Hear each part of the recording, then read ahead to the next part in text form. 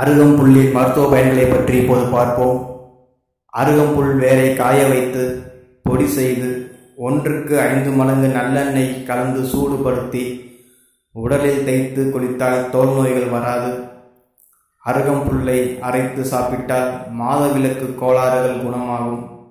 அருகம்புல் ஒரு கட்டு வாங்கி தண்ணீரில் போட்டு கொதிக்க வைத்து பால் மற்றும் சர்க்கரை கலந்து குடித்து வந்தால் சிறுநீர்ப்பை உறுதிப்படும்.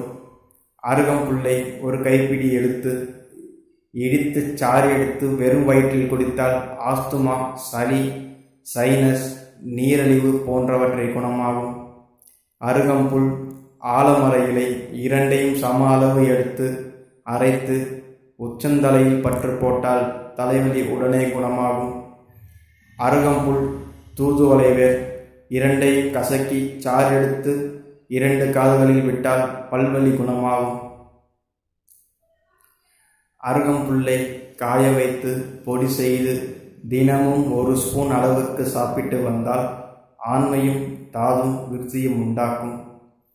அருகம்புல்லை சாறு பிழிந்து குடித்து வந்தால் வயிற்றுப்புண் குணமாகும்.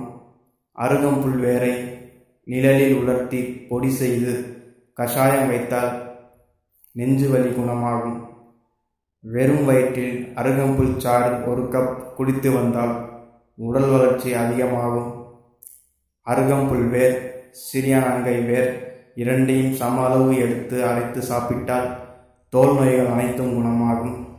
அருகம்புல் கடுக்காய் தோல் கஞ்சங்கோரை அனைத்தையும் சம அளவு எடுத்து மோர் சேர்த்து அரைத்து உடலில் பூசிக்கொண்டால் சொறி சிறங்கு படர்தாமரை போன்றவற்றைகள் அனைத்தும் மறையும். அருகம்புல் துத்தி இரண்டையும் சம அளவு எடுத்து அரைத்து சாப்பிட்டு வந்தால் உடல் அழகு பெறும்.